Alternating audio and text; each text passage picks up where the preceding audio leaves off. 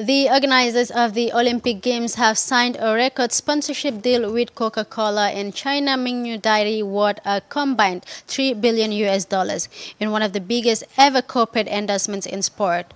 On Monday, the U.S. drinks maker and Chinese milk and yogurts group announced they would jointly sponsor the event between 2021 and 2032, covering six summer and winter games.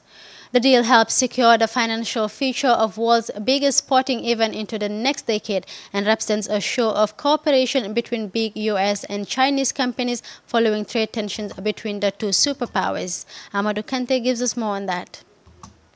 Despite the international trade war between Washington and Beijing, American beverages company Coca-Cola and Chinese Mengniu Dairy Company signed the first ever joint partnership agreement with the International Olympic Committee in a move to use sports to bring nations closer.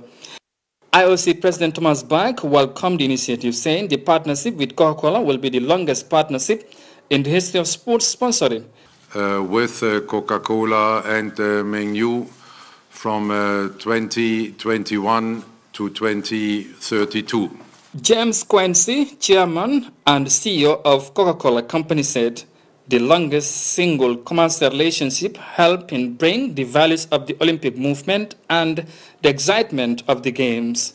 Helping bring the value, um, the values of the Olympic movement uh, and the excitement of the Games and the, the, commercial partners, helping that reach even more uh, of the fans. Jeffrey Lu, CEO and Chief Executive of Mengniu, promises to deliver that even better with health and joy to all fans and people who like sports.